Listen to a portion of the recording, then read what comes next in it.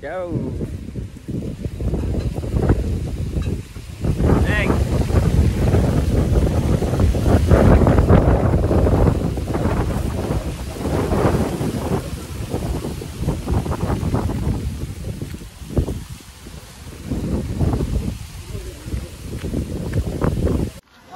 Hey. No.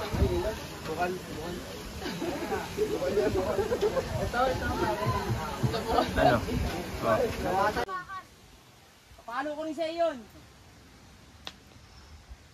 Papasok ko sa puwet mo yun.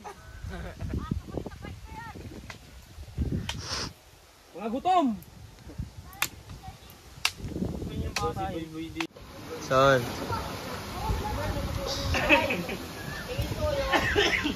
Yung mga putang ina. Oh. Nagamit niya na rin lahat ka. Oo. Oo, kasi kapon niya sa akin niya. Ngayon ako. Hindi naman eh, sa rider niya ako nagbabayad ko eh.